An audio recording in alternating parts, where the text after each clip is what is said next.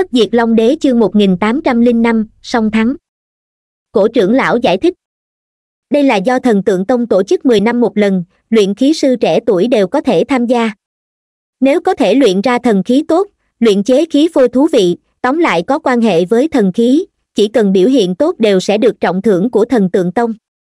Lần này cũng là đại hội tài vật giao dịch, nhóm lão gia này có thể trao đổi luận bàn với nhau, bổ sung cho nhau.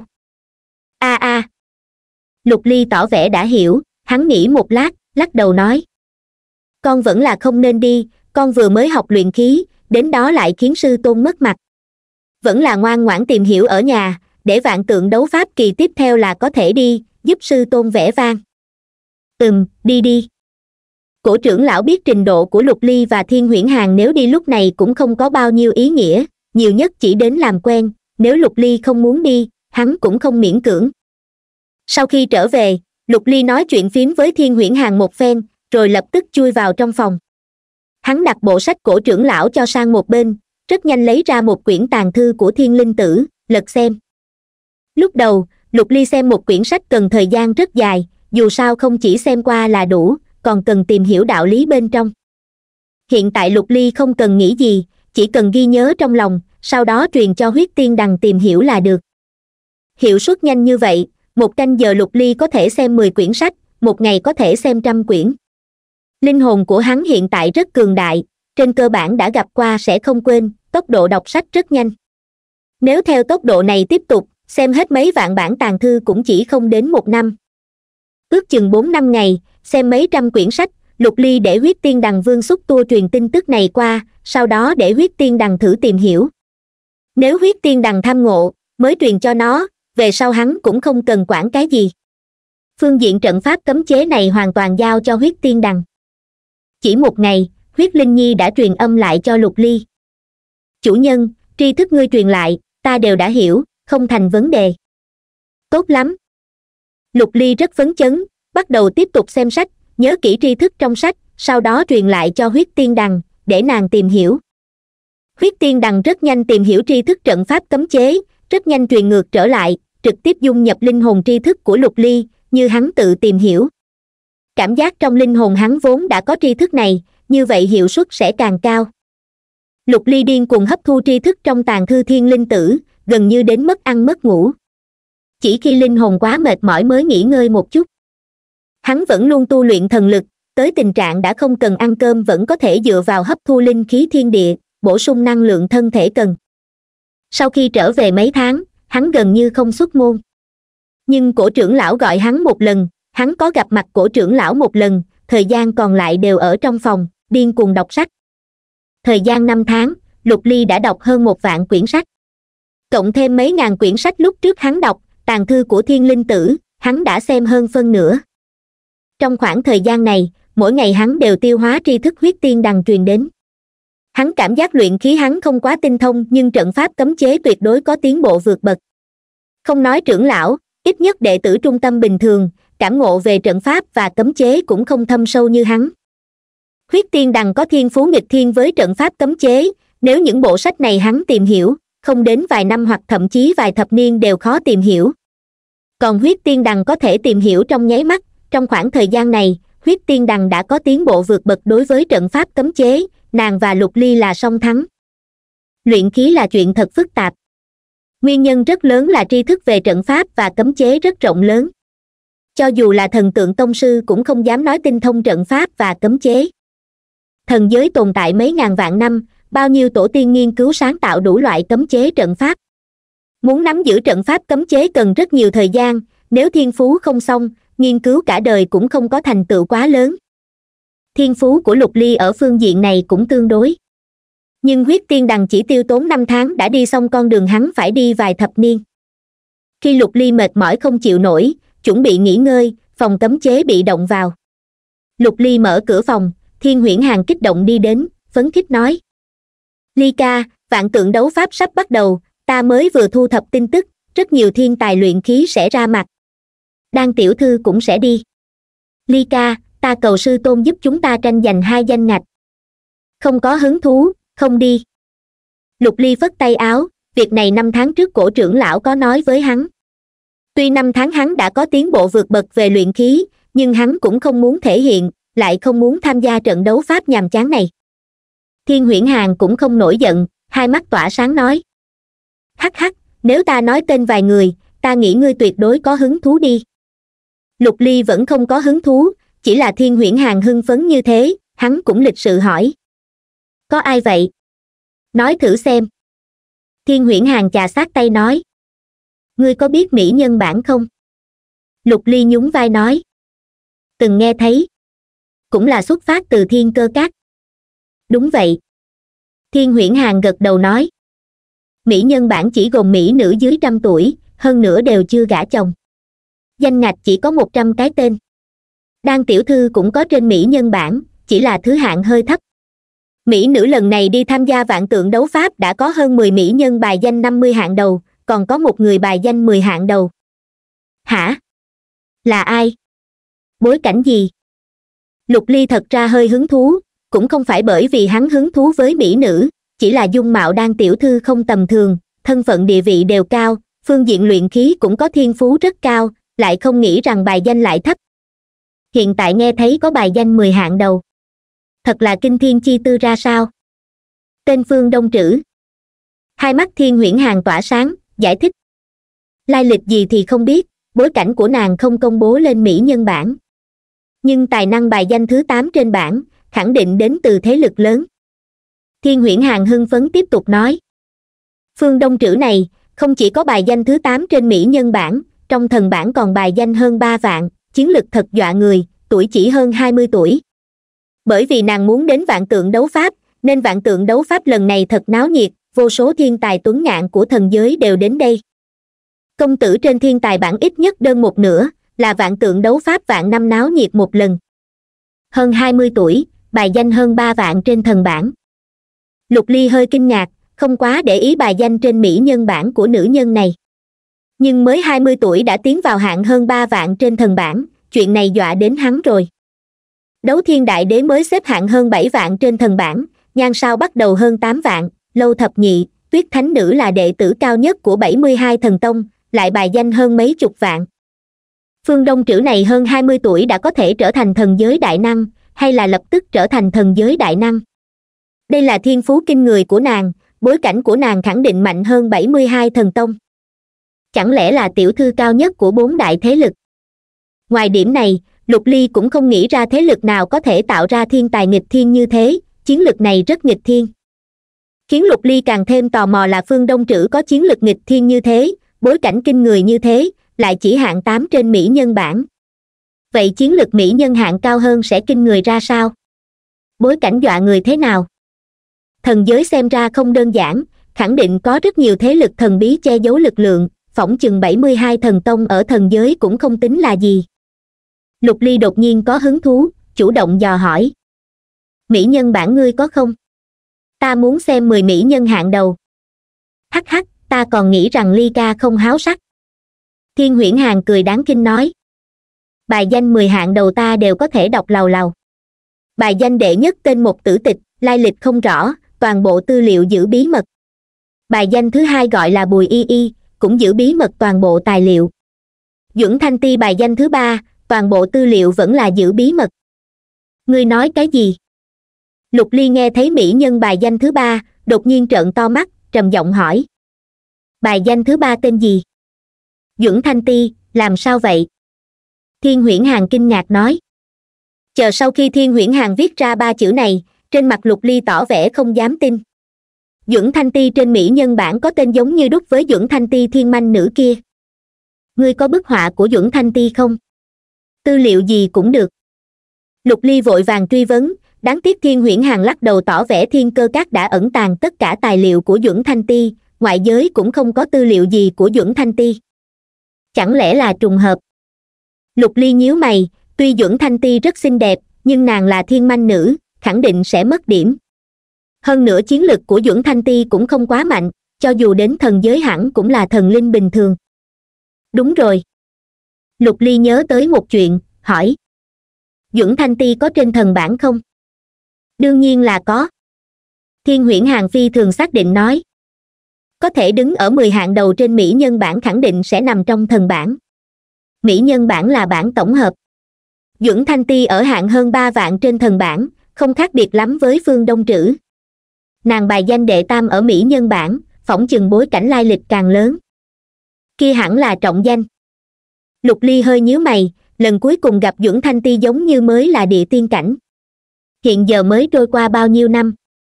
Cho dù là thiên tàng lão nhân thật sự đến từ thần giới, mang dưỡng thanh ti đến thần giới bồi dưỡng, có thể có tên trên thần bản cũng thật nghịch thiên, không có khả năng nhanh như vậy trở thành thần giới đại năng.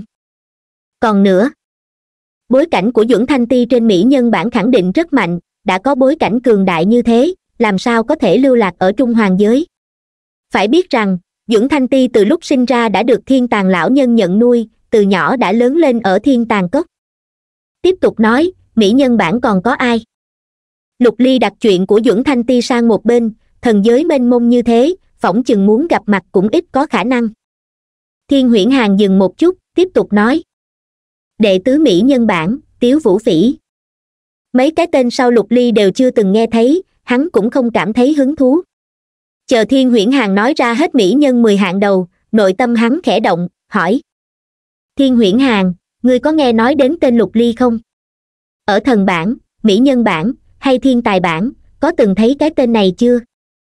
Lục linh. Thiên huyễn hàng trừng mắt, sau đó đôi mắt hơi sáng ngời. Ly ca quen biết lục linh sao?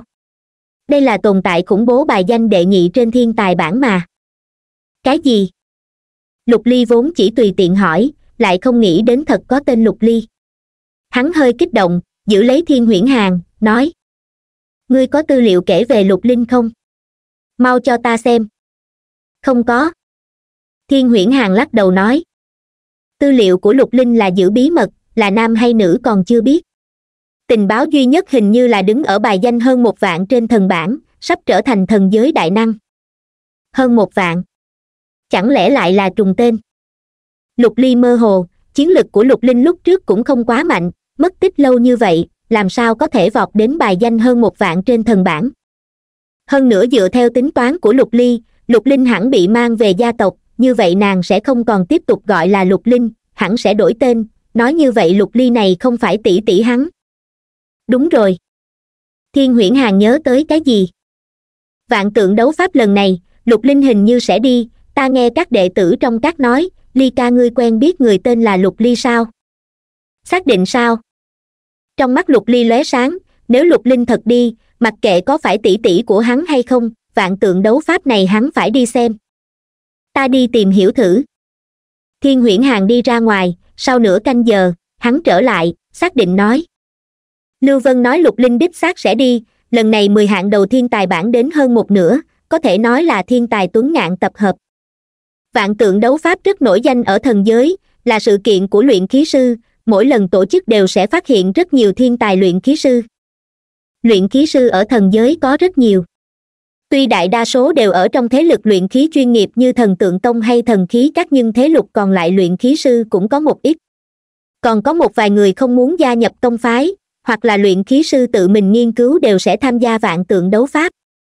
Đấu pháp có thể giúp rất nhiều luyện khí sư trẻ tuổi có cơ hội phát triển, thanh danh nổi lên, như vậy rất nhiều thế lực lớn đều sẽ trộn mời chào. Vạn tượng đấu pháp không chỉ có đấu pháp mà còn lại trận đấu giao dịch tài vật luyện khí, còn có thể là trận trao đổi giữa các luyện khí sư thế hệ trước sau. Vốn vạn tượng đấu pháp là sự kiện của luyện khí sư, lần này bởi vì phương đông trữ của mỹ nhân bản đến đây còn có rất nhiều mỹ nhân của mỹ nhân bản tham dự, hấp dẫn rất nhiều truy đuổi của công tử danh môn, sau đó nổi lên phản ứng dây chuyền. Rất nhiều người vì tiếp cận công tử danh môn này cũng đi theo. Càng ngày càng nhiều thế hệ trẻ tuổi bị hấp dẫn, biến thành sự kiện của thiên tài tinh anh trẻ tuổi. Thần giới quá lớn, nếu không phải nguyên nhân nào đó, những thiên tài đệ tử này rất khó tụ hội với nhau. Vạn tượng đấu pháp lần này là một cái cớ những đệ tử thiên tài nương theo sự kiện lần này đến đây giao hữu cũng tốt, làm náo động cũng không sai, hay đủ các lý do như đến theo đuổi mỹ nhân, hấp dẫn chú ý của càng nhiều người. Thiên huyễn hàng đi tìm cổ trưởng lão, cổ trưởng lão cũng không do dự, sảng khoái đáp ứng. Điều này khiến thiên huyễn hàng rất buồn bực, cổ trưởng lão sao lại dễ nói chuyện như vậy? Không biết có phải bởi vì lục ly, yêu cầu lục ly đưa ra, cổ trưởng lão dường như rất ít khi từ chối cổ trưởng lão đã tham gia quá nhiều lần vạn tượng đấu pháp, đích thật là sự kiện của luyện khí sư. Hắn cảm thấy để đám người lục ly đi trải nghiệm cũng tốt. Dù sao thần tượng thần cũng không có nguy hiểm gì, nơi đó là đại bản doanh của thần tượng tông. Thần khí các gần đây thật náo nhiệt, bởi vì rất nhiều đệ tử đều muốn đi thần tượng thành, cho dù không có cơ hội bọn họ biểu diễn, có thể kiến thức cũng là tốt. Danh ngạch đi lần này là có hạn, bởi vì thần tượng thành ở trung bộ thần giới muốn đi qua phải thông qua thời không phủ. Mà tiêu phí thời không phủ truyền tống là giá lên trời. Cho dù thần khí các có tiền cũng không thể mang nhiều đệ tử đi tham dự như vậy. Danh sách rất nhanh xuất hiện, lần này thần khí các chỉ đi mười người. Người mạnh nhất thần khí các long huyết sát tự tay dẫn dắt cả đội. Đan tiểu thư, long vân hải, long vấn thiên đều có tư cách đi, vốn giang liên tuyết không xảy ra chuyện cũng sẽ có tư cách đi khiến rất nhiều đệ tử thần khí các không phục là thiên huyễn hàng và lục ly cũng đi. Thiên huyễn hàng là đệ tử thân truyền của cổ trưởng lão, hắn có tư cách đi thật bình thường, lục ly thì tính là cái gì mà cũng có thể đi. Chuyện lần trước náo loạn lớn như vậy, phán phạt nhẹ nhàng thì thôi đi, một đệ tử bình thường như hắn lại có tư cách đi vạn tượng đấu pháp. Có đệ tử trung tâm không phục, đi tìm các trưởng lão bày tỏ ý kiến, nhưng toàn bộ bị bác bỏ. Các trưởng lão chỉ nói một câu khiến toàn bộ đệ tử biết người định ra danh ngạch là các chủ, không phục thì đi tìm các chủ lý luận. Lời nói của các chủ vẫn là nhất ngôn cửu đỉnh, nếu danh sách đã định, ai cũng không thể sửa đổi. Rất nhiều đệ tử chỉ có thể âm thầm hờn dỗi, không có việc gì thì nguyền rủa lục ly đoạt đi danh ngạch của bọn họ. Đan tiểu thư cũng không phục, người còn lại đi không thành vấn đề, lục ly cũng được đi. Chuyện này khiến nàng cực kỳ khó chịu, nhìn thấy lục ly nàng nghĩ đến giang liên tuyết vẫn còn bị giam giữ, hận cắn răng. Nàng tìm các chủ lý luận, nhưng các chủ cũng không giải thích nguyên nhân, ngược lại khuyên bảo nàng buông bỏ khúc mắc, đối tốt với lục ly một chút. Lục ly không để ý hỗn loạn bên ngoài, tiếp tục đọc sách trong phòng. Thiên huyễn hàng hiện giờ đều ở trong luyện khí điện cả ngày, tranh thủ thành thục luyện khí hơn. Nếu có cơ hội bộc lộ tài năng trên vạn tượng đấu pháp thì sẽ tốt nhất. Sau hơn nửa tháng lục ly và thiên huyễn hàng đều được cổ trưởng lão gọi, cách vạn tượng đấu pháp chỉ còn năm sáu ngày, sắp khởi hành rồi. Lục ly và thiên huyễn hàng đều tắm rửa một phen. Thiên huyễn hàng mặc vào cẩm bào màu trắng của đệ tử trung tâm, đầu tóc cột lên gọn gàng, tuấn tú lịch sự, tuấn tú đẹp trai. Lục ly chỉ mặc thanh bào bình thường, duy nhất khiến người khác chú ý cả mái tóc bạc trắng, còn lại thoạt nhìn không khác gì đệ tử bình thường. Đi thôi. Cổ trưởng lão liếc mắt nhìn hai người lạnh lùng đi ra ngoài, đi vào trong tiểu quảng trường, long huyết sát mang theo mấy trưởng lão, đang tiểu thư, long vân hải, long vấn thiên vừa vặn đi tới. Lục ly và thiên huyễn hàng vội vàng hành lễ, khi hành lễ với đan tiểu thư, đan tiểu thư hừ lạnh, xoay mặt đi, rất không nể tình. Long vân hải và long vấn thiên lại bình thường, giống như không xảy ra chuyện gì, khách khí chào hỏi lục ly vài câu. Đi. Long huyết sát tỏ vẻ không chú ý lục ly dẫn đầu đi vào truyền tống trận, dưới ánh mắt nóng rực của vô số đệ tử, mười người truyền tống rời khỏi. Mọi người truyền tống đến một tòa đại thành phụ cận, lạc nhật thành. Nơi này có phân bộ của thời không phủ, muốn đi thần tượng thành, phải thông qua thời không phủ, nếu không để truyền tống qua mỗi thành trì, ít nhất phải mấy mười mấy năm. Đám người đang tiểu thư giống như thường xuyên đến lạc nhật thành, trầm mặt hành tẩu, lục ly nhìn thiên huyễn hàng vài lần. Bởi vì thiên huyễn hàng không có nhìn loạn tự hồ không chút để ý lạc nhật thành. Đi vào thời không phủ thiên nguyễn hàng cũng không quá để ý, điều này khiến lục ly âm thầm khả nghi. Xem ra thiên nguyễn hàng không đơn giản như vẻ bề ngoài, phỏng chừng còn có một ít lai lịch bối cảnh. Có một trưởng lão cùng đi vào thời không phủ giao thiệp, chỉ một lát, một quản sự thời không phủ đã mang mọi người tiến vào tế đàn thật lớn. Tế đàn này có diện tích vài trăm trượng, lục ly trong khoảng thời gian này đã hơi tinh thông với trận pháp cấm chế thần niệm quét qua trận văn dưới tế đàn, nhưng vẫn hơi choáng váng, hoa mắt. Chư vị nhịn một chút, lần này truyền tống hơi xa, cho nên người linh hồn không mạnh sẽ khó thích ứng. Nhưng mọi người có thể yên tâm, truyền tống của thời không phủ cũng không xảy ra vấn đề gì, cũng không làm chư vị bị thương tổn quá lớn. Quản sự liếc mắt nhìn đám người lục ly, thiên huyễn hàng, long vân hải. Đám người long huyết sát, cổ trưởng lão là linh hồn cường giả, không sao cả nhưng linh hồn đám người lục ly vẫn là quá yếu, khẳng định sẽ có hơi không khỏe. Đám người đang tiểu thư dường như đã sớm biết, mặt không chút thay đổi gật đầu. Lục ly nuốt xuống một viên đang dược loại linh hồn, gật đầu với quản sự. Mở ra truyền tống thần trận. Quản sự thấy mọi người đã chuẩn bị sẵn sàng, gật đầu với bốn lão giả phía sau. Bốn người phóng ra lưu quang, bắn lên pho tượng tứ phía tế đàn. Trận văn phía dưới tế đàn rất nhanh sáng lên giống như lôi hình cung nội loạn trong tế đàn. Tầm mắt của đám người lục ly bị bạch quan thay thế, biến mất trong tế đàn. Vù. Thời không phủ tỏa ra bạch quan cao tận trời, nối tiếp với chân trời, bất diệt thật lâu. Tốt lắm, con cá mắc câu rồi. Trong từng tòa thành lạc nhật thành, một lão giả hắc bào nhìn cột sáng trời cao, hơi cứng người, hạ lệnh với một người phía sau. Truyền tin cho lăng trưởng lão, báo hắn lục ly rời khỏi thần tượng thành để hắn chấp hành kế hoạch về sau. Truyền tống lần này là lần truyền tống khiến lục ly khó chịu nhất, hắn cảm giác linh hồn như bị xé rách, trong dạ dày quay cuồng không ngớt, mỗi lỗ chân lông toàn thân đều cực kỳ không thoải mái. Hắn không biết truyền tống bao lâu, phỏng chừng nhiều nhất một hai ngày, nhưng hắn cảm thấy giống như truyền tống vài năm, cảm giác mỗi gây đều phi thường thống khổ, giống như đang bị dày vò. Bịch! Hắn rốt cục cảm giác rơi xuống đất, hai chân hắn mềm nhũn, trực tiếp quỳ trên mặt đất nôn mửa từng ngụm, cả khuôn mặt đều biến hình, cực kỳ khó chịu.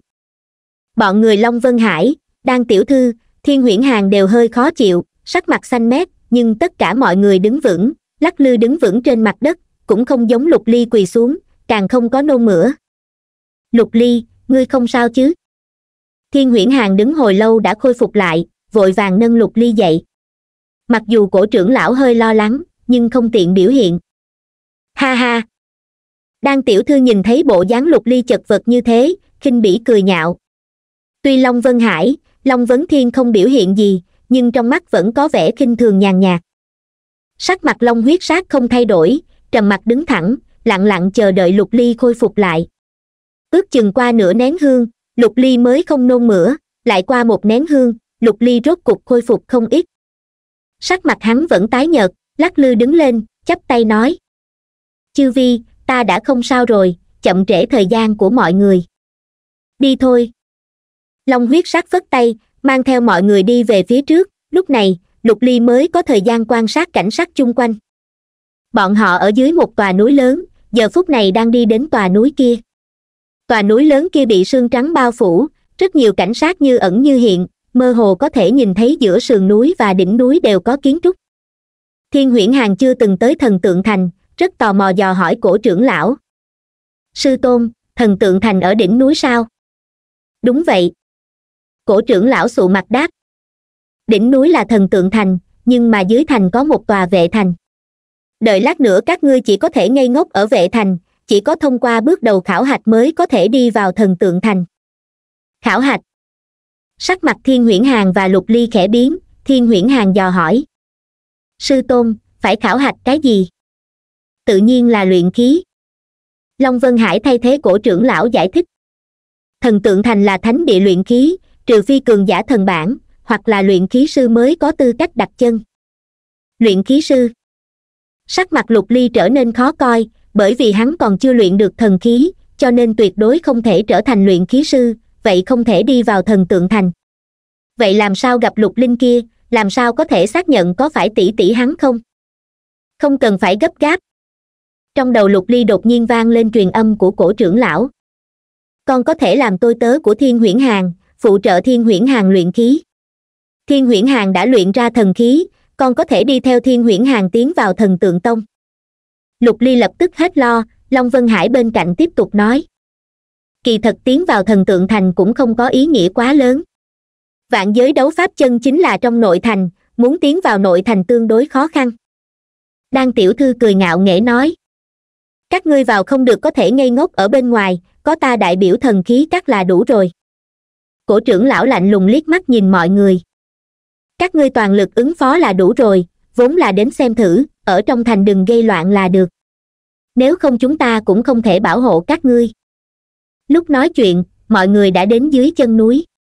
Nơi này có một bàn sơn đạo thật lớn, toàn bộ đều do bạch ngọc xây thành. Dưới bàn sơn đạo có một đội quân sĩ bảo hộ mặc chiến giáp màu đỏ bái kiến long đại nhân, cổ đại nhân, chư vị đại nhân. Một người trung niên hơi thở cường đại trong đám quân sĩ nhìn long huyết sát và cổ trưởng lão, từ xa tiếp đón, hiển nhiên là người quen cũ. Bái kiến phùng thống lĩnh. Trên mặt long huyết sát khẽ cười, hàng huyên vài câu. Cổ trưởng lão và chư vị trưởng lão đều đi qua. Sau khi phùng thống lĩnh khách sáo vài câu, ánh mắt nhìn đan tiểu thư, ảm đạm cười nói. Vài năm không gặp, nhược đan càng xinh đẹp rồi vân hải cũng không tệ. Đa tạ phùng gia gia khích lệ. Đan tiểu thư quen biết phùng thống lĩnh, hành lễ cùng vân hải. Đám người lục ly, thiên huyễn hàng hành lễ, long huyết sát lại hàng huyên vài câu, phùng thống lĩnh để một hạ thủ mang theo mọi người lên núi. Chú ý quan sát cấm chế sơn đạo này. Cổ trưởng lão truyền âm lại vào trong đầu lục ly. Đừng coi thường sơn đạo này, sau khi mở ra cấm chế, cho dù là thần giới đại năng bình thường cũng không thể xông kích con đường này gọi là quỷ thần lộ, quỷ thần cũng khó xông vào. Nội tâm lục ly ngẩn ra, thần niệm vội vàng tra xét phía dưới, quả nhiên tra xét được phía dưới đều là trận tuyến và trận văn rậm rạp, cấm chế bên trong cực kỳ phức tạp và thâm ảo. Hai bên sơn đạo đều là mây mù nồng đậm, thấy không rõ cảnh tượng. Lục ly phỏng chừng cả tòa núi lớn đều là cấm chế, nếu ở trong này làm loạn, rất có thể chết không chỗ chôn. Có người của thần tượng tông dẫn đường, mọi người bình tĩnh lên núi lục ly vẫn cảm ứng cấm chế phía dưới, bất tri bất giác đã đi đến bên ngoài tòa đại thành. Tòa núi lớn này ở giữa sườn núi, nhìn lên trời cao, từng tòa thành trì như ẩn như hiện, lộ ra một cái sừng. Mọi người sau khi vào thành, phát hiện bên trong thành rất náo nhiệt. Người đến người đi, võ giả khí tức cường đại thấy khắp mọi nơi. Lão lý, mang theo bọn họ, chúng ta đi thần tượng thành trước. Sau khi vào thành long huyết sát liếc mắt nhìn đám người đang tiểu thư, sau đó nghiêm túc dặn dò. Các ngươi đều nghe rồi đó, ở trong thành nghiêm cấm động võ, sự tình gì đều nghe lý trưởng lão. Nếu dám gây chuyện, bất luận là ai đều bị nhốt ngàn năm. Cổ trưởng lão liếc nhìn thiên huyễn hàng và lục ly, cũng dặn dò. Cũng đừng gây chuyện, ở đây gây chuyện, chết cũng là chết vô ích, biết không? Dặn dò xong, long huyết sát, cổ trưởng lão đi trước một bước, bọn họ đến đây đều có chuyện quan trọng không chỉ đơn giản cùng đám người đang tiểu thư đến đây đấu pháp. Trưởng lão còn lại mang theo năm người đang tiểu thư, long vân hải, lục ly, hắn dò hỏi. Các ngươi đi dạo trong thành đi, hay là trực tiếp đi khảo hạch thần tượng thành? Tự nhiên là đi thần tượng thành, vệ thành nho nhỏ này có chuyển biến gì không? Đang tiểu thư kiêu ngạo nói. Ta tới tham gia đấu pháp, ở đây chỉ lãng phí thời gian. Bọn người long vân hải cũng phụ họa theo, lục ly khẩn cấp muốn đi thần tượng thành tự nhiên không phải vì đi dạo. Lý trưởng lão thấy mọi người đều nhất trí đồng ý, cũng không do dự, mang theo mọi người đi đến tòa thành. Tòa thành này là nơi khảo hạch hay luyện khí? Nếu không phải cường giả thần bản vậy chỉ chứng minh mình là luyện khí sư mới có thể tiến vào thần tượng thành. Dọc đường đi, lục ly nhìn xung quanh, hy vọng vận khí tốt một chút, trực tiếp gặp lục linh kia. Nếu thật là tỷ tỷ của hắn, vậy hắn cũng không cần đi thần tượng thành. Đáng tiếc trong vệ thành có rất nhiều người, công tử, tiểu thư y bào xinh đẹp cũng có rất nhiều, nhưng không nhìn thấy nhân ảnh hắn chờ mong. Sau khi đi vào tòa thành, trưởng lão kia nói chuyện với quản sự bên trong, trở về dặn dò đám người lục ly. Các ngươi lần lượt tiến vào luyện khí điện đi, trong một canh giờ luyện chế ra bất kỳ thần khí nào đều tính là khả quan, là có thể tiến vào thần tượng thành. Lục ly biết mình luyện chế thần khí khẳng định khó khăn, một canh giờ khẳng định không được. Hắn suy nghĩ chắp tay nói. Lý trưởng lão, ta có thể làm tôi tớ của thiên huyễn sư huynh không? Ta có thể phụ trợ sư huynh luyện khí. Tôi tớ. Đang tiểu thư cười nhạo. Ngươi cũng xứng làm tôi tớ thôi, nếu không, dập đầu với bổn tiểu thư ba cái, ta thu ngươi làm tôi tớ, mang ngươi đi nội thành thần tượng thành, tham gia vạn tượng đấu pháp. Ngươi. Lục ly nhíu mi hỏi. Ngươi chưa đủ tư cách ngươi luyện khí cũng không lợi hại bằng thiên huyễn sư huynh.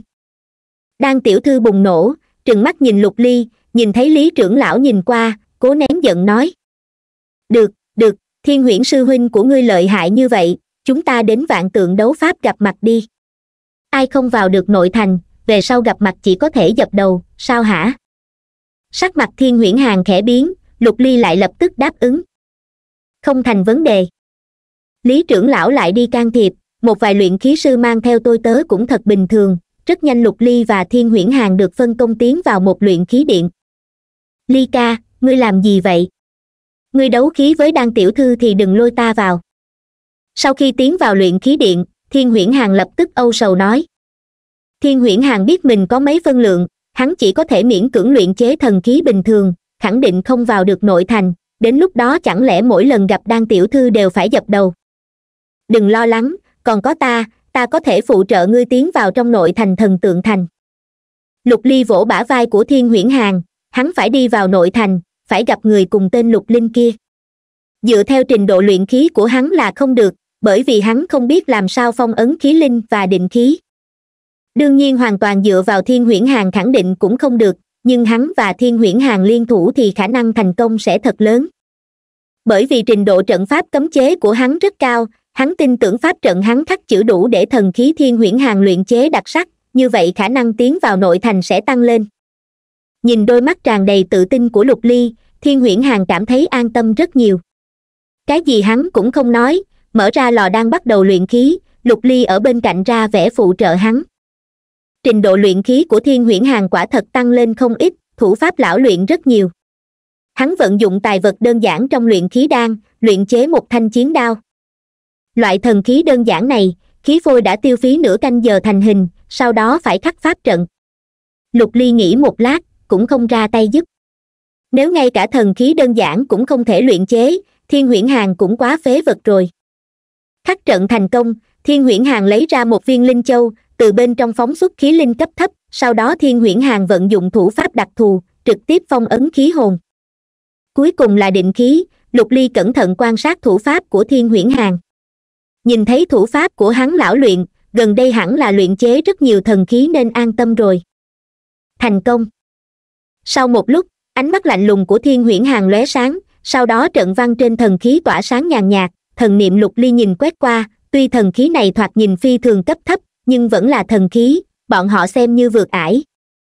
Chờ sau khi lục ly và thiên huyễn hàng rời khỏi đây, đám người đang tiểu thư đã sớm chờ bên ngoài. Thiên huyễn hàng nộp lên thần khí kiểm tra đủ tư cách, ban cho thiên huyễn hàng một tấm ngọc phù màu đỏ, trả lại cho lục ly một tấm ngọc phù, cũng màu đỏ nhạt. Đi thôi. Lý trưởng lão phất tay, mọi người đi tòa thành, đến một truyền tống trận. Muốn đi thần tượng thành chỉ có thể nhờ truyền tống trận, muốn bay lên hoặc đi lên căn bản không có khả năng. Đến truyền tống trận, kiểm tra ngọc phù thân phận của mọi người, lý trưởng lão lấy ra một tấm ngọc phù thân phận. Mọi người đi vào truyền tống trận một luồng bạch quang hiện lên, mọi người đi vào trong quảng trường lớn. Pho tượng này. Sau khi lục ly đi ra, lập tức bị một pho tượng lớn trong quảng trường hấp dẫn. Đó là một pho tượng tiểu lão đầu, khuôn mặt cũ kỹ. Pho tượng này phi thường sinh động, nếu không phải không có hơi thở sinh mệnh, lục ly còn tưởng đây là một người khổng lồ. Đây là pho tượng tông chủ đời thứ nhất của thần tượng tông, được xưng là thần tượng tổ thần. Lý trưởng lão nhìn lục ly và thiên huyễn hàng giải thích một câu, sau đó trịnh trọng dặn dò. Ngàn vạn lần không được vô lễ với pho tượng này, nếu không lập tức đánh chết. Lục ly và thiên huyễn hàng hành lễ cung kính với pho tượng, thần tượng tổ thần phải tôn kính. Lý trưởng lão hơi gật đầu, sau đó dò hỏi. Các ngươi đi dạo trong thành hay là đi nội thành? Chuyện này không cần miễn cưỡng. Các ngươi còn trẻ, về sau trình độ luyện khí mạnh lên, lại đi đấu pháp cũng không muộn. Trong nhóm người này chỉ đang tiểu thư là trình độ luyện khí không tệ lắm, đạt đến trình độ thần tượng. Đám người long vân hải vẫn kém chút. Về phần lục ly và thiên huyễn hàng, mới nhập môn, có thể luyện ra thần khí đã khiến lý trưởng lão thật vừa lòng. Vạn tượng đấu pháp, nơi này có từ đấu. Nếu thế hệ này không có thiên tài vĩ đại, thần khí các cũng không quá để ý, nếu qua vài thập niên nữa, để đan tiểu thư tiến bộ, trở thành đại thần tượng, như vậy thần khí các mới được coi trọng cho nên lần này đơn thuần là mang đám người đan tiểu thư, lục ly đến trải nghiệm. Bằng không đám người long huyết sát, cổ trưởng lão sao lại không đi theo? Lý trưởng lão phụng mệnh mang theo mọi người, tự nhiên không muốn gây áp lực, tình nguyện để cho đám người lục ly ở ngoài thành. Đang tiểu thư làm sao buông tha cơ hội đấu pháp lần này, nhăn mày nói thẳng. Ta muốn đi nội thành, ngoại thành này không có ý tứ gì, nội thành mới thật náo nhiệt, ta muốn đi khảo hạch đám người long vân hải tự nhiên cũng muốn đi nội thành, có thể đi vào hay không là một chuyện, ít nhất phải cố gắng thử. Nội thành lúc này khẳng định tập hợp đủ danh gia, đủ loại tiểu thư, xem đến hoa mắt. Lục ly cũng không muốn ngây ngốc ở ngoại thành, tuy ngoại thành trông thật náo nhiệt, rất nhiều địa phương chơi vui, lục ly lại không có tâm tư đi chơi. Mọi người nhất trí đi nội thành, lý trưởng lão bất đắc dĩ chỉ có thể dẫn mọi người đến tòa thành thật lớn kia. Hả? Đi vài bước long vân hải đột nhiên ngừng cước bộ, đôi mắt hơi sáng lên hào quang, nói. Nàng vậy mà đến đây. Ai hả? Đang tiểu thư nhìn lướt qua, rất nhanh khóe miệng mỉm cười. Thì ra là tỉnh nhã tỷ tỷ, còn có tên lưu manh lâu thập nhị. Lục ly nghe thấy hai cái tên quen thuộc, nhìn lướt qua, quả nhiên nhìn thấy hai người quen. Đó là tuyết thánh nữ, còn có lâu thập nhị, cùng với một tiểu tử và một công tử. Hả? Hải ca tuyết thánh nữ lại chủ động đi tới. Trên mặt long vấn thiên hiện lên vẻ hưng phấn. Tuyết thánh nữ là mỹ nữ lừng danh. Bởi vì sinh mệnh áo nghĩa độc đáo của nàng đạt bài danh mười lăm trên mỹ nhân bản là nữ thần trong mộng của rất nhiều nam tử. Long vân hải lần trước có nói mấy câu với tuyết thánh nữ, nhưng tuyết thánh nữ cũng không nhiệt tình, không nghĩ tới, lần này lại chủ động đi đến. Nói bậy, tỉnh nhã tỷ tỷ khẳng định đến vì ta đang tiểu thư kiêu ngạo ngẩng đầu, ánh mắt nhìn lâu thập nhị. Lâu thập nhị ở thần giới là tay ăn chơi lừng lẫy, chuyên dụ dỗ nhân thê, đối với thiếu nữ và tiểu thư tuyệt không buông tha. Nhưng lâu thập nhi lại rất hấp dẫn các thiếu nữ đang tiểu thư rõ ràng rất hứng thú với hắn. Ha ha ha. Lâu thập nhị cười ha hả, trong tiếng cười đều ý thân mật. Bộ dáng phóng đãng không kiềm chế kia khiến đan tiểu thư hơi mê say. Tuyết thánh nữ chưa nói đã cười khí chất nàng thiên lãnh, trong cốt cách đều là vẻ lạnh lùng, khó gần, lần này lại phá lệ tươi cười. Long vân hải và long vấn thiên đều nhìn tròn mắt. Lâu thập nhị và tuyết thánh nữ bước đến, long vân hải vội vàng nên đón. Đang tiểu thư nhăn nhó đi tới, trên mặt đỏ ửng, ánh mắt tập trung vào lâu thập nhị. Tuyết thánh nữ, chúng ta lại gặp mặt rồi. Long vân hải đang nghe truyện trên tv audio cv chắp tay, đang tiểu thư cũng ngọt ngào cười nói tỉnh nhã tỷ lâu công tử. Hai người còn chưa nói xong, chợt nhìn thấy tuyết thánh nữ và lâu thập nhị lướt qua các nàng, bay thẳng đến thiên huyễn hàng và lục ly phía sau. Sắc mặt hai người và long vấn thiên khẽ biến, kinh ngạc quay đầu nhìn lại lại nhìn thấy lâu thập nhị ôm mạnh lấy lục ly, thân thiết vỗ lưng nói. Tiểu tử ngươi, ta chỉ biết ngươi không chết được. Tuyết thánh nữ cúi đầu hành lễ, cười nói. Lục công tỷ, lại gặp mặt rồi long vân hải, Đan tiểu thư, long vấn thiên liếc mắt nhìn nhau, ba người đều trợn mắt há hốc mồm. Đệ tử thần khí các ở bên ngoài vẫn thật được hoan nghênh, nhất là Đan tiểu thư còn là cháu gái các chủ thần khí các, rất được thế lực lớn phía nam thần giới nể tình. Địa vị của long vân hải cũng thật đặc biệt, bởi vì long huyết sát là cường giả đệ nhất thần khí các, cũng là một đại thần tượng, địa vị gần các chủ thần khí các nhất. Hôm nay, hai người lại vả mặt trước mặt nhiều người như vậy tuyết thánh nữ và lâu thập nhị đều không thèm nhìn hai người, trực tiếp đi chào hỏi lục ly. Cố tình đang tiểu thư còn phi thường tự tin nói lâu thập nhị và tuyết thánh nữ đến tìm nàng. Điều này khiến sắc mặt đang tiểu thư như lửa đốt, nổi giận không thôi, nội tâm hận lục ly thấu xương, còn có hơi ngờ vực. Lục ly có tài đức gì có thể được lâu thập nhị và tuyết thánh nữ ưu ái như thế? Lâu thập nhị ở phía nam thần giới, gia gia hắn lâu thiên tinh là kẻ điên nổi danh ở phía nam thần giới ai cũng không dám trêu chọc lâu thập nhị, cho nên, lâu thập nhị vẫn luôn hành vi độc lập. Tuyết thánh nữ càng không cần nói, thánh nữ duy nhất của tuyết sơn cung cung chủ tuyết sơn cung đời tiếp theo. Bản thân còn hiểu được sinh mệnh chân ý phi thường hiếm có, nghe nói được sinh tử điện phi thường coi trọng.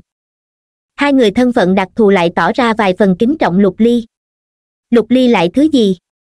Là đệ tử tầng dưới chót nhất của thần khí các các nàng, muốn chiến lực không chiến lực trình độ luyện khí cũng chỉ là cấp thấp nhất. Hắn dựa vào cái gì được lâu thập nhị thân thiết ôm hắn như thế? Còn khiến tuyết thánh nữ nhoẻn miệng cười vì hắn. Đang tiểu thư và long vân hải không rõ, công tử tiểu thư đi theo bên cạnh lâu thập nhị và tuyết thánh nữ cũng không hiểu. Tuyết thánh nữ rất ít cười, nếu không phải bạn bè chân chính, đừng nói cười, muốn nàng nói thêm vài lời cũng khó. Lục ly cảm thấy đau trứng, hắn vẫn luôn muốn ẩn mình lại không nghĩ rằng sẽ gặp lâu thập nhị và tuyết thánh nữ. Hai người trực tiếp đến chào hỏi hắn, về sau hắn phải lăn lộn ở thần khí các thế nào. Nếu để người của địa sát cung chú ý hắn, sau này làm sao đánh chết cừu thiên quân? Nhưng cục diện đã như vậy, lục ly cũng không có biện pháp, chỉ có thể ôm lâu thập nhị một cái, ghé vào tai hắn, nhẹ giọng nói. Ta không muốn nổi bật, giúp ta che giấu. Sau khi lâu thập nhi rời khỏi, lục ly chấp tay hành lễ với tuyết thánh nữ lục ly bái kiến tuyết thánh nữ. Lục ly hành lễ với ngữ khí xa cách, khiến tuyết thánh nữ hơi kinh ngạc. Lâu thập nhị truyền lại ánh mắt, tuyết thánh nữ băng tuyết thông minh lập tức hiểu ra, gật đầu không nói nữa. Lâu thập nhị xoay đầu, cười nhìn đan tiểu thư nói. Đan tiểu thư, hồi lâu không gặp, thật xinh đẹp động lòng người. Chào vân hải huynh, vấn thiên huynh. Ha ha ha, lục huynh đệ từng gặp mặt chúng ta một lần, tán gẫu thật vui vẻ không nghĩ rằng lại gia nhập vào thần khí các các ngươi. Tuyết thánh nữ gật đầu nói. Chào nhược đan muội muội, chào vân hải, vấn thiên công tử. Đan tiểu thư và long vân hải hồ nghi liếc mắt nhìn lục ly, nhưng không nói gì thêm. Đan tiểu thư có chút lạnh lùng, gật đầu với lâu thập nhị, sau đó hành lễ với tuyết thánh nữ, rồi hỏi. Tỉnh nhã tỷ tỷ tỷ quen biết lục ly sao? Đúng vậy. Tuyết thánh nữ thoải mái thừa nhận, nghĩ nghĩ nói. Lục công tử trước kia từng gặp ta và lâu công tử một lần, chúng ta đều nợ hắn ân tình. Hắn giúp các ngươi. Hắn có thể giúp các ngươi. Long vấn thiên kinh ngạc nhìn lục ly, trong mắt hắn, lục ly chỉ là con kiến cấp thấp, tuyết thánh nữ và lâu thập nhị lại là chân long và phượng hoàng trên bầu trời. Con kiến lại giúp đỡ chân long và phượng hoàng, chuyện lạ thiên hạ a. Biểu tình của long vấn thiên khiến sắc mặt tuyết thánh nữ và lâu thập nhị trầm xuống long vấn thiên nghi ngờ lục ly là vả mặt hai người bọn họ. Lâu thập nhị không thèm nể mặt, cười lạnh nói. Lục ly không thể giúp ta, chẳng lẽ long vấn thiên ngươi có thể sao? Ha hả sau khi nói xong, lâu thập nhị không thèm nhìn đan tiểu thư, long vân hải và long vấn thiên nữa, chắp tay với lục ly và lý trưởng lão, tuyết thánh nữ cũng hơi tức giận, hai người xoay người rời đi. Ly ca thật lợi hại. Thiên huyễn hàng xem trò hay vừa rồi âm thầm giơ ngón cái. Lục ly nhún vai, cũng không giải thích gì, cũng không nhìn ánh mắt đầy tức giận và nghi ngờ của long vấn thiên, long vân hải và đan tiểu thư. Đi thôi. Lý trưởng lão thờ ơ lạnh nhạt, cũng không nói gì, mọi người tiếp tục đi vào trong một tòa nội thành. Tòa thành này rất lớn, bên trong thật náo nhiệt, có thể nhìn thấy rất nhiều võ giả mặc luyện khí bào, phỏng chừng đều muốn tiến vào trong nội thành. Lý trưởng lão tiến đến can thiệp, mọi người đứng bên cạnh trầm mặc chờ đợi. Thỉnh thoảng có người đến chào hỏi, đại bộ phận đều là người quen của đan tiểu thư, một ít người là đến chào hỏi long vân hải và long vấn thiên. Tự nhiên không ai tìm đến thiên huyễn hàng và lục ly, bất quá những người này đều là vai diễn nhỏ, không cao quý bằng thân phận của tuyết thánh nữ và lâu thập nhị. Sau mấy nén hương, lý trưởng lão trở lại, liếc mắt nhìn mọi người, nói, an bài xong rồi, đợi lát nữa các ngươi có thể đi luyện khí chỉ có thể vận dụng tài liệu trong luyện khí điện, nộp lên thần khí luyện thành, thần tượng tông sẽ có quản sự chấm điểm, kiểm tra đủ tư cách sẽ có thể tiến vào nội thành. Đủ tư cách. Long vân hải hơi khó hiểu, dò hỏi. Tiêu chuẩn gì mới tính đủ tư cách? Không có tiêu chuẩn gì. Lý trưởng lão lắc đầu nói. Đương nhiên, nếu ngươi có thể luyện chế phẩm thần khí, khẳng định đủ tư cách có thể luyện chế ra thần khí thượng phẩm hoặc là hơn thượng phẩm cũng đủ tư cách. Dù sao tận sức các ngươi mà luyện chế, có thể luyện chế ra thần khí tốt khẳng định sẽ không mai một. Lần này thời gian chỉ định là hai canh giờ, các ngươi chú ý. Sắc mặt lục ly nghiêm trọng, xem ra lần này thật khó khăn. Thần khí thượng phẩm có cho thiên huyễn hàng thêm vài năm cũng không thể luyện chế thành. Đang tiểu thư ngạo nghễ đi đến trước, long vân hải, long vấn thiên cắn răng đi theo thiên huyễn hàng không yên nhìn lục ly lục ly vỗ bờ vai hắn, đi theo mọi người đến phía trước. Sau khi bị an bài tiến vào trong tiểu điện, lục ly cảm ứng, sau khi xác định không có ai, hắn hé miệng cười nói. Đừng có áp lực, toàn lực luyện chế là được rồi. Thiên huyễn hàng gật đầu, mở ra lò thần, bắt đầu toàn lực luyện chế. Lần này hắn muốn luyện chế thử cung, sẽ càng khó khăn, nhưng cũng càng đặc sắc. Đừng. Lục ly nghĩ nghĩ rồi lắc đầu luyện chế đao kiếm đơn giản đi, luyện chế cung dễ dàng thất bại, lựa chọn ngươi sở trường là được rồi. Lục ly nhìn ra ý tưởng của thiên huyễn hàng, đúng lúc ngăn hắn lại. Bằng vào trình độ của hắn, tuyệt đối không thể vượt ải, đến lúc đó luyện chế thất bại, không có thời gian sẽ hoàn toàn không còn cơ hội. Được rồi. Thiên huyễn hàng hoàn toàn tính phục lục ly, lựa chọn luyện chế một thanh trường kiếm. Lần này luyện chế rất cẩn thận, ước chừng tiêu phí nửa canh giờ hắn mới luyện chế ra khí phôi hoàng mỹ. Khí phôi này thật không tồi.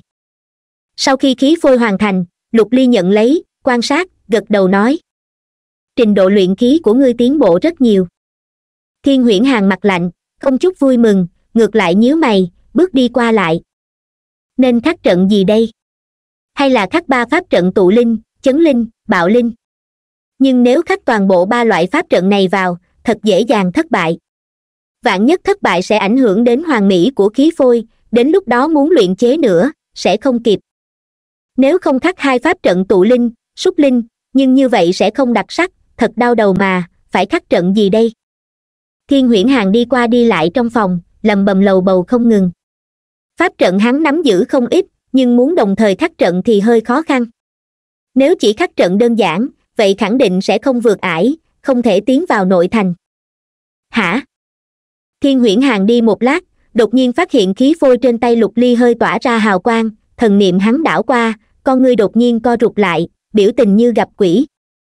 Bởi vì, hắn mơ hồ cảm ứng được lục ly đã khắc năm pháp trận lên khí phôi, hơn nữa rõ ràng còn khắc vào thành công. Thiên huyễn hàng nghĩ mình tra xét sai rồi, bước lớn đến bên người lục ly, cầm khí phôi cẩn thận cảm ứng, khiếp sợ trên mặt càng nồng đậm, không dám tin nói. Ly ca, cái này thật do ngươi khắc vào ha ha. Lục ly cười nhạt, trên thực tế hắn còn không muốn quá nổi bật, nếu không khắc vào sáu bảy pháp trận cũng không thành vấn đề. Nếu để huyết linh nhi ra tay, còn có thể cải biến cấm chế, khiến thần khí thêm đặc sắc. Hắn phất tay nói, ta gần đây có hơi tiến bộ về trận pháp cấm chế, phong ấn khí linh và định khí thì ta hoàn toàn không hiểu, chúng ta có đi nội thành hay không liền trông cậy vào ngươi. Ngươi đây là hơi tiến bộ. Thiên huyễn hàng biểu môi nói ngươi đây là hoàn toàn biến thái, chúng ta mới tiến vào thần khí các bao lâu? Sợ là đang tiểu thư cũng không thể khắc vào nhiều trận pháp như vậy. Ngươi hoàn toàn là trình độ của thần tượng giai. Được rồi, đừng nịnh ta nữa. Lục ly dặn dò. Ngươi phải nhớ kỹ, pháp trận này là ngươi khắc, thần khí này là ngươi luyện chế. Ta chỉ là tôi tớ của ngươi, nếu không bị người bên ngoài biết được, sẽ có phiền toái lớn, ta không thể bại lộ, biết không? Thiên huyễn hàng nhướng mày, thấy lục ly nghiêm túc như vậy, hắn cũng không hỏi nhiều, gật đầu, trên mặt tỏ vẻ hung phấn, hít sâu mấy hơi, bắt đầu tiến hành hai bước phía dưới. Nơi này đồng dạng có khí linh châu, một ít khí linh bên trong. Thiên huyễn hàng đầu tiên cảm ứng pháp trận trong khí phôi, cuối cùng lựa chọn một khí linh thích hợp nhất rồi phong ấn vào. Khí linh bình thường là hồn phách của hoang thú, ngay lúc đánh chết sẽ vận dụng khí linh châu thu vào. Hoặc là tồn tại một vài mỹ linh, yêu ma hồn thể kỳ lạ trong thiên địa. Bình thường khí linh cũng không quá trân quý, nhưng giá trị không ít thần nguyên, cho nên luyện khí sư vẫn phải rất tốn tiền.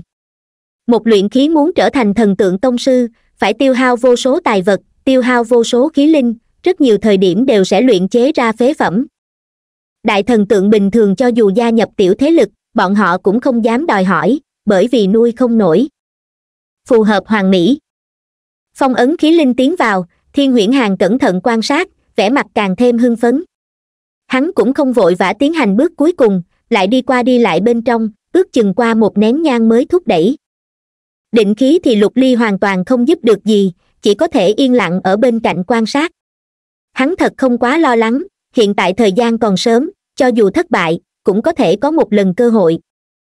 Thiên huyễn hàng cho khí phôi vào thần lò, bắt đầu bước định khí cuối cùng. Hắn thuần thục đánh ra thần lực lục ly ở bên cạnh quan sát, âm thầm gật đầu. Thủ pháp của thiên huyễn hàng thật nhuần nhuyễn, hơi thở ổn định, nếu thất bại chỉ là vấn đề vận khí. Sau hai nén hương, thần lò dần trở về bình tĩnh, thiên huyễn hàng vỗ thần lò, bắn ra thần kiếm, thần văn phía trên dày đặc, thần quang lòe lòe, rõ ràng là thành công rồi. Vù. Thiên huyễn hàng bắt nhanh lấy thần khí, cẩn thận cảm ứng, trên mặt vui mừng, sau đó xoay người nhếch miệng cười nói với lục ly ly ca, hoàng mỹ, thần khí này miễn cưỡng có thể sánh bằng thần khí thượng phẩm. Tốt lắm. Lục ly tiếp nhận thần khí, vừa lòng gật đầu, với tiêu chuẩn lần này, trình độ của thiên huyễn hàng là phát huy không tệ, lần này tiến vào nội thành hẳn không quá khó khăn. Năm trận pháp tụ linh, chấn linh, bạo linh, kiên nhận, tật này dung hòa lẫn nhau, nếu không phải trình độ ta quá thấp, thần khí này tuyệt đối có thể đạt đến phẩm cấp thần khí thượng phẩm thiên huyễn hàng tiếp nhận thần kiếm, cảm khái một tiếng, sau đó giơ ngón cái với lục ly. Ly ca, ngươi thật sự là kỳ tài luyện khí, ta phỏng chừng thần khí đại tông sư kế tiếp sẽ là ngươi. Ha ha. Lục ly lắc đầu cười, sau đó dặn dò. Tiểu hàng, ngươi trăm triệu không thể nói ta là người khắc pháp trận. Ngươi phải nhớ kỹ điểm này, nếu không sẽ hại ta, biết không? Vì sao? Thiên huyễn hàng tỏ ra khó hiểu lục ly cũng không giải thích nguyên nhân, chỉ bắt thiên huyễn hàng phải nhớ kỹ. Thiên huyễn hàng gãi đầu, thí nghiệm một phen, xác định thần kiếm thật ổn định mới mang lục ly ra ngoài. Bên ngoài có đệ tử thần tượng tông, thiên huyễn hàng giao ra thần khí. Đệ tử để hai người chờ, một mình hắn tiến vào trong nội điện, giao thần khí cho hai quản sự bên trong xem xét. Quản sự đầu tiên cảm ứng thử, trên mặt lộ ra vẻ không đúng. Bởi vì nhìn bộ dáng đây chỉ là thần khí hạ phẩm muốn tiến vào nội thành dựa vào thần khí hạ phẩm hiển nhiên là không được. Sau khi hắn tiếp nhận thần khí, thần niệm đảo qua, sắc mặt biến đổi, hắn gần như không do dự, lập tức truyền vào thần lực. Vù. Thần kiếm phát ra hào quang lóng lánh, trận văn sáng lên, khí linh bên trong điên cuồng chạy, một luồng khí tức đầy áp lực truyền đến từ bên trong. A, lão lưu, thanh kiếm này. Một quản sự nhìn lướt qua, trên mặt lộ vẻ ngạc nhiên lão lưu đưa thanh kiếm, sắc mặt ngưng trọng nói. Lão nghiêm, ngươi xem pháp trận trong thanh kiếm này. Lão nghiêm tiếp nhận trường kiếm, truyền vào thần lực, cảm ứng một lát cũng lộ vẻ kinh ngạc, cảm khái nói. Vậy mà dùng thử pháp ngưng trận, sợ là đại thần tượng cũng không có bao nhiêu người tinh thông. Đúng vậy. Lão lưu gật đầu nói. Người sáng tạo thủ pháp ngưng trận này là đứa con nhỏ nhất là thần tượng tổ thần, gần vạn năm nay người có thể hiểu được càng lúc càng ít nhân vật đại biểu kiệt xuất nhất là thiên linh tử tông sư mười vạn năm trước. Không nghĩ tới một đệ tử nho nhỏ, ngay cả thần khí thượng phẩm còn chưa luyện chế thành lại hiểu thủ pháp ngưng trận. Kỳ tài a. Trong mắt lão nghiêm lóe sáng, trầm quát với đệ tử trước mặt. Thần khí này ai luyện chế ra? Học đạo môn nào? Đệ tử lật xem tư liệu, chắp tay bẩm báo nói. Đây là đệ tử của thần khí cát là đệ tử thân truyền của cổ sơn hát luyện chế cổ sơn hát. Lão nghiêm và lão lưu liếc mắt nhìn nhau, lão nghiêm nhướng mày, ngờ vực thì thào. Trình độ luyện khí của cổ sơn hát không tồi, nhưng hẳn không biết phương thức ngưng trận này. Chẳng lẽ hắn được bí tịch ngưng trận, để cho đệ tử học tập? Tốt lắm. Lão lưu phất tay nói. Thiên huyễn hàng này có thể tiến vào nội thành, trực tiếp an bài đi đấu pháp. Mặt khác thông báo ưng trưởng lão, nói cho hắn thiên huyễn hàng hiểu thủ pháp ngưng trận lại còn phi thường thuần thục hoàng mỹ, để hắn chú ý đến đấu pháp về sau của thiên huyễn hàng, nói đệ tử này đáng giá tài bồi. Ưng trưởng lão. Đệ tử kia hơi kinh ngạc, sau đó không người ra ngoài. Hắn ngay từ đầu tỏ ra hơi kiêu căng với thiên huyễn hàng và lục ly, sau khi rời khỏi đây, sắc mặt dịu lại, còn tỏ ra tươi cười, thiên huyễn hàng cảm thấy khó hiểu. Vù. Ngay lúc này, một cửa phòng bên cạnh mở ra đang tiểu thư kích động cầm một thanh trường cung màu đỏ, vừa ra ngoài đã reo lên. Thành công rồi, thành công rồi, ta luyện chế ra cung thần thật hoàn mỹ, mau trình cho quản sự các ngươi nghiệm thu. Kêu la cái gì? Câm miệng. Còn kêu la ta sẽ bỏ qua tư cách khảo hạch của ngươi. Đệ tử thần tượng tông lạnh lùng lướt qua, khiến tươi cười trên mặt đang tiểu thư cứng đờ. Đệ tử này quay đầu, thay đổi sắc mặt, mỉm cười chắp tay với thiên huyễn hàng thiên huyễn hàng, các ngươi thông qua khảo hạch, có thể đi vào nội thành. Các ngươi cầm lệnh bài này, bên ngoài sẽ có đệ tử mang các ngươi trực tiếp tiến vào nội thành dàn xếp. Hả? Đang tiểu thư hiện giờ mới thấy rõ thiên huyễn hàng và lục ly đứng phía sau đệ tử kia. Trong mắt nàng đều lả vẻ kinh ngạc, trừng to hai mắt nhìn thiên huyễn hàng và lục ly nói. Các ngươi, chút trình độ luyện khí như vậy của các ngươi làm sao thông qua khảo hạch? Thiên huyễn hàng lạnh nhạt cười không thèm để ý, lục ly cũng không thèm liếc nhìn, đệ tử kia đã hơi phiền chán đang tiểu thư, cười lạnh nói. Chút trình độ ấy. Chờ ngươi đến trình độ đó rồi nói sau. Hắn là đệ tử kỳ tài được nghiêm sư thúc tán thưởng, ha ha. Ách. Đang tiểu thư trừng lớn hai mắt, trừng mắt nhìn thiên huyễn hàng vài lần, giống như không quen biết thiên huyễn hàng, kỳ tài luyện khí. Nếu thiên huyễn hàng là kỳ tài, nàng chính thiên tài bất thế sao? Đang sư tỷ chúng ta đi trước một bước. Thiên huyễn hàng lắc lư đầu, thản nhiên nói. Đúng rồi, nếu ngươi không vào được nội thành, về sau gặp ta đừng quên dập đầu. Thiên huyễn hàng, lục ly nhanh chóng rời đi, ánh mắt đang tiểu thư đều sắp phun lửa, trong lòng nghĩ mãi không ra vì sao thiên huyễn hàng chỉ mới học luyện khí không bao lâu, lại có thể được nhân nghĩa của thần tượng tông tán thưởng, còn là kỳ tài. Phải biết rằng thần tượng tông là đại biểu cho nóc nhà luyện khí thần giới người nơi này đều thật cao ngạo, dường như cũng không khen ngợi người khác. Hai người thiên huyễn hàng và lục ly đi ra bên ngoài, chào lý trưởng lão một tiếng, sau đó đưa cho một gã đệ tử lệnh bài. Tên đệ tử kia vội vàng mang theo hai người đi đến một thiên điện. Thiên điện kia có truyền tống trận, có thể truyền tống vào nội thành. Sơn hát dạy đồ đệ thật tài. Biểu tình của lý trưởng lão giống với đan tiểu thư, trong mắt hắn, thiên huyễn hàng và lục ly hoàn toàn không có cơ hội không nghĩ rằng bọn họ xuất quan sớm nhất, tiến vào nội thành. Không lâu lắm, đan tiểu thư đi ra, không ngoài ý muốn, đan tiểu thư xuất quan, có thể tiến vào trong nội thành. Đan tiểu thư là thiên tài trăm vạn năm mới xuất hiện ở thần khí cát muốn tiến vào nội thành cũng thật nhẹ nhàng. Nếu không phải thời gian luyện khí quá ngắn, tính tình đủ trầm ổn, đấu pháp lần này phỏng chừng còn có thể nổi bật hơn. Khiến lý trưởng lão ngoài ý muốn là long vân hải và long vấn thiên đều thất bại long vân hải vốn có cơ hội nhưng vận khí không tốt lắm. Luyện chế ra thần binh có chút tì vết, sau đó muốn luyện chế lần nữa thì không đủ thời gian. Thiên huyễn hàng và lục ly tiến vào nội thành rồi. Sau khi long vân hải và long vấn thiên đi ra, được tin tức này, nhất thời cảm thấy da mặt đau rát. Bọn họ là đệ tử trung tâm của thần khí cát từ nhỏ bắt đầu học luyện khí, lại không bằng một đệ tử mới nhập môn một năm. Lý trưởng lão phất tay nói các ngươi đi khách điếm đi, ta tiến vào nội thành, bẩm báo với long trưởng lão, cổ trưởng lão.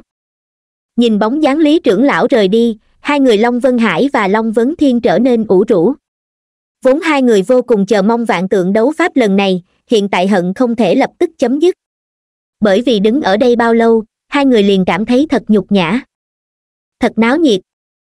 Lục ly và thiên huyễn hàng được truyền tống vào trong nội thành, nơi này thật như thế ngoại đào nguyên phong cảnh như tranh, không giống bên ngoài, nơi nơi đều là tòa thành. Ngược lại có cây hoa lá mọc khắp nơi nơi chốn đều có hoa tươi nở rộ. Bên trong còn có mấy dòng suối chảy nhẹ nhàng do nhân công khai quật bên trong thật náo nhiệt, người đi đường đi tới đi lui, mỗi người đều áo mũ chỉnh tề, cẩm y ngọc bào, khí độ bất phàm.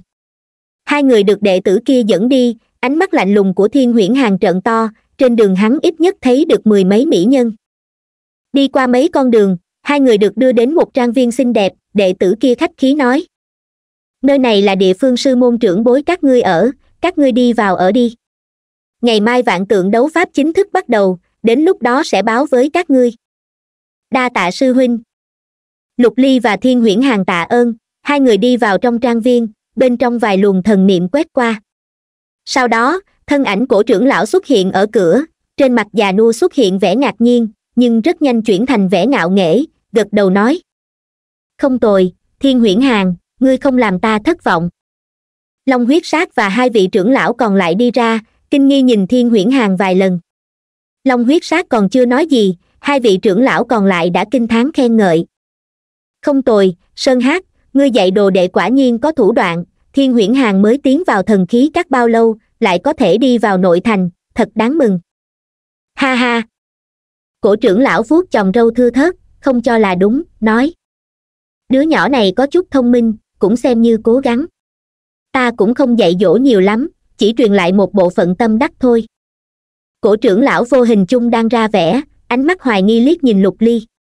Thiên huyễn hàng có mấy cân mấy lượng hắn còn không rõ ràng. Tuyệt đối không thể tiến vào nội thành, như vậy vấn đề ở trên người lục ly.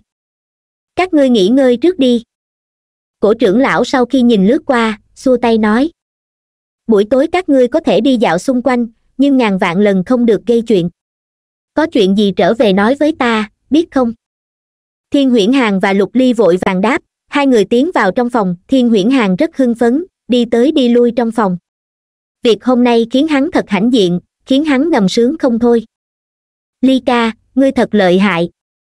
Thiên huyễn hàn mở ra cấm chế, muốn nói cái gì, lục ly lại phất tay bảo hắn đừng nói ở nội thành cường giả nhiều như mây, trận pháp đại sư cấm chế có rất nhiều, ai biết có nghe lén không?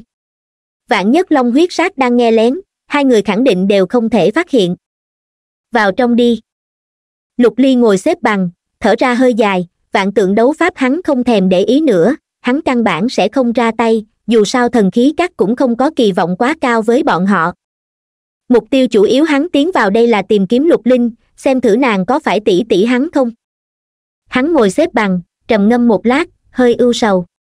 Bên trong nội thành phi thường to lớn, khắp nơi đều là trang viên, ai biết lục linh có thể ở đâu? Khó có thể đi tìm đệ tử thần tượng tông hỏi. Cho dù hỏi được kết quả gì, hắn có thể tiến vào sao? Đúng rồi, tuyết thánh nữ và lâu thập nhị. Lục ly nhớ tới hai người, nếu nói có cơ hội tiếp xúc lục linh chỉ có hai người này, phỏng chừng cho dù đang tiểu thư nhìn thấy nàng, cũng khó buổi tối đi gặp lâu thập nhị. Lục ly quyết định, ngồi hàng huyên với thiên huyễn hàng vài câu, rồi ngồi xếp bằng nghỉ ngơi. Chờ bóng đêm hạ xuống yêu nguyệt bay lên, lục ly và thiên huyễn hàng xuất động.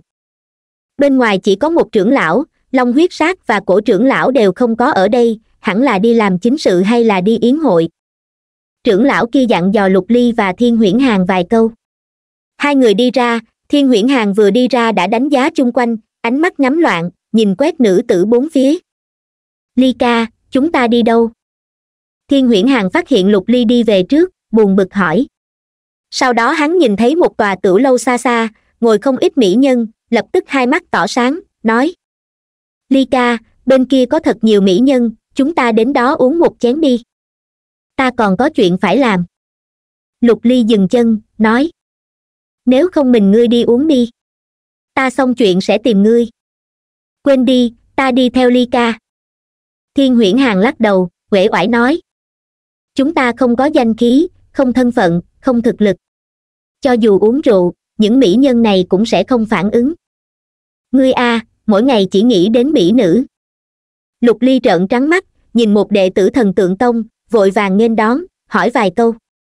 Sau khi biết trang viên chỗ lâu thập nhị, lục ly mang theo thiên huyễn hàng phóng thẳng đến đó. Sau khi đến trang viên ngoài cửa có người bảo hộ. Hẳn là người của yên vũ lâu, sau khi lục ly thông báo cho hắn, rất nhanh một giọng cười đã vang lên từ xa. Lâu thập nhị bước ra, ông bả vai lục ly, đẩy vào trong, vừa đi vừa nói. Lục huynh, ngươi tới đúng lúc, ta đang mở tiệc chiêu đãi vài công tử tiểu thư danh môn, vừa lúc giới thiệu ngươi làm quen. Ta nói cho ngươi, loan tiểu thư bài danh mười sáu mỹ nhân bản cùng với út tiểu thư bài danh hai mươi bốn đều ở trong. Oa oa thiên huyễn hàng giống như sói đói nhìn thấy cừu non, ánh mắt sáng dọa người, vừa rồi hắn còn chán nản không thể đến gần những mỹ nhân, lại không nghĩ rằng đảo mắt đã có thể gặp mặt mỹ nhân cao quý nhất trên mỹ nhân bản tim thiên huyễn hàng đập thình thịch, lục ly nhức đầu. Hắn đến đây cũng không phải tham gia yến hội gì, hắn cũng không muốn quá nổi bật, nếu không bị địa sát cung chú ý, hắn sẽ chẳng còn cơ hội gì. Hắn đáp ứng cổ trưởng lão, giúp hắn báo thù, hắn vẫn hết sức tuân thủ hứa hẹn nói được phải làm được. Hơn nữa, trong khoảng thời gian này, cổ trưởng lão đối đãi với hắn tốt lắm, xem hắn như con ruột. Điều này khiến lục ly thật cảm động, quyết tâm giúp cổ trưởng lão báo thù rửa hận. Thiếu cung chủ địa sát cung, tổ gia gia hắn là trưởng lão trấn phủ thời không phủ. Lục ly muốn đánh chết cừu thiên quân đã khó khăn rất nhiều. Nếu bị địa sát cung chú ý đến, hắn sẽ không còn cơ hội giống cổ trưởng lão. Cho nên hắn phải ẩn mình hắn không hề nghĩ ngợi, cự tuyệt nói. Thập nhị huynh, ngươi để thiên huyễn hàng vào là được rồi, ta muốn thảo luận vài chuyện với ngươi, sẽ không tham gia yến hội. Xác định. Lâu thập nhi hơi kinh ngạc, bao nhiêu người đều muốn tận lực tiếp cận công tử tiểu thư danh môn. Lục ly không hề có hứng thú. Chẳng lẽ lục ly cũng xuất thân danh môn? Hay là không thích mỹ nữ? Thấy lục ly kiên định gật đầu lâu thập nhị chỉ có thể vẫy tay với một đệ tử yên vũ lâu, để hắn mang theo thiên huyễn hàng vào, hắn mang lục ly đến một tòa tiểu lầu các bên cạnh. Sau khi trong tiểu lầu mở ra mười hai cấm chế, hắn tự mình bưng trà cho lục ly. Chuyện gì? Cứ nói đi đừng ngại. Lục ly đứng dậy, chắp tay nói. Lần trước thập nhị huynh giúp ta thoát khỏi vòng vây, ta còn chưa cảm tạ ngươi, lần này lại làm phiền thập nhi huynh rồi, lục ly rất hổ thẹn sắc mặt lâu thập nhị trầm xuống, nhìn lướt qua lục ly. Nếu ngươi tiếp tục khách sáo, ta sẽ tiễn khách. Ha ha ha. Lục ly mỉm cười, không nhiều lời nữa, nói thẳng. Thập nhị huynh, thiên tài trên thiên tài bản ngươi có biết không? Ngươi không phải nói nhảm rồi sao? Lâu thập nhị trợn trắng mắt, nói. Ta còn ở trên thiên tài bản, nhưng hơi hổ thẹn chút, chỉ xếp hạng tám mươi mấy. Thiên cơ các ba năm công bố một lần bản đan thần bản mỹ nhân bản và thiên tài bản đều được coi trọng. Lục ly hơi phấn chấn, dò hỏi. Lục linh bài danh đệ nhị trên thiên tài bản ngươi có quen biết không? Lục linh. Ánh mắt lâu thập nhi lộ vẻ mê hoặc, lắc đầu nói. Tư liệu người này thật đúng là không có, chỉ biết là nữ. Hơn nữa lại không có trên mỹ nhân bản không biết là dung mạo không đủ tuyệt đỉnh hay là không muốn. Tóm lại người này thật thần bí yên vũ lâu chúng ta không có tư liệu về nàng. Xác định là nữ sao? Lục ly hơi kích động, hắn mơ hồ cảm thấy, lục linh này rất có thể là tỷ tỷ hắn. Hắn đột nhiên đứng lên nói. Thập nhị huynh, lục linh này đến thần tượng thành, ngươi có biện pháp nào mang ta đi gặp mặt nàng một lần không? Chỉ cần nhìn từ xa là được rồi, còn lại ngươi không cần quản cái gì. Ta van ngươi, việc này rất quan trọng với ta. Chuyện này có hơi khó lâu thập nhị nhíu mày, trầm ngâm một lát, sau đó đứng dậy nói. Ngươi ngồi ở đây, ta tìm hiểu chút tin tức, xem có thể gặp mặt nàng hay không. Tuyết thánh nữ ở bên trong, ta cũng hỏi thử nàng có biện pháp gì không. Được. Lục ly gật đầu thật mạnh, nhìn lâu thập nhị rời đi, sau đó đi qua đi lại trong phòng, vô cùng khẩn trương. Nếu có thể gặp mặt lục linh kia một lần, xác định là tỷ tỷ hắn hắn cảm thấy cái gì đều đáng giá thời gian từ từ trôi qua, nội tâm lục ly càng ngày càng sốt ruột, lâu thập nhị đã ra ngoài hơn một giờ vậy mà còn chưa trở về. Điều này khiến trái tim lục ly treo lơ lửng giữa không trung, nếu có biện pháp, lâu thập nhị đã sớm trở lại. Lại qua hai nén hương, lâu thập nhị rốt cuộc vội vã trở về. Lục ly vừa thấy hắn, sắc mặt hồi hộp. Quả nhiên, sau khi lâu thập nhị đi vào, lắc đầu thở dài nói. Lục linh đích xác đã đến đây, nhưng thế lực sau lưng nàng thật lớn lại sống ở trang viên bên hậu viện. Với thân phận của ta và tuyết thánh nữ không thể đi qua bên kia, trừ phi gia gia của hoặc cung chủ tuyết sơn cung tự mình đến. Đáng tiếc gia gia của ta và tuyết cung chủ lần này không có tới. Ách! Lục ly trừng mắt hỏi. Chẳng lẽ không có cách nào sao? Gặp mặt một lần cũng khó như vậy. Biện pháp thì vẫn có. Lâu thập nhi nghĩ nghĩ, nói. Ngày mai là vạn tượng đấu pháp nếu ngươi có thể đi vào đấu bán kết, có thể đi vào trong thần tượng bảo. Đến lúc đó vô số đại nhân vật đều sẽ lên sân khấu, nói không chừng lục linh kia sẽ đến, ngươi còn có cơ hội gặp mặt nàng một lần. Đấu bán kết. Lục ly âm thầm đau đầu, trình độ của hắn và thiên huyễn hàng thật thấp, ngay cả thần khí hắn còn chưa từng luyện chế thành công, làm sao tiến vào đấu bán kết? Vạn tượng đấu pháp là sự kiện trọng đại của luyện khí sư, long trọng nhất thần giới, khẳng định cao thủ nhiều như mây hơn nữa, hắn căn bản không muốn tham gia đấu pháp, bởi vì thật dễ dàng bại lộ thân phận. Giống như tàn thư của thiên linh tử, giống như huyết tiên đằng. Vạn nhất khiến đại nhân vật nhìn thấy, sợ là thần khí các cũng không giữ được hắn. Hơn nữa, ai có thể cam đoan các đại nhân của thần khí các nhìn thấy tàn thư của thiên linh tử sẽ không động tâm? Hắn trầm ngâm một lát, dò hỏi. Thật sự không còn biện pháp. Nếu không ta ở ngoại thành thần tượng thành chờ dù sao nàng vẫn phải trở về. Vẫn phải trở về. Lâu thập nhị cười khổ nói. Nhưng ngươi khẳng định không thể gặp nàng, nếu nàng sinh ra ở thế lực lớn phỏng chừng trực tiếp truyền tống đi từ trong nội thành. Ôi! Lục ly bóp tráng dừng một chút mới hỏi. Đấu bán kết dễ dàng không? Khó! Lâu thập nhị vỗ bả vai lục ly, nói. Tình hình chung của vạn tượng đấu pháp là có ít nhất ngàn người so đấu nhưng chỉ có mười người có tư cách đi đấu bán kết. Nếu thấy hay thì nhớ like và đăng ký kênh để ủng hộ mình nha.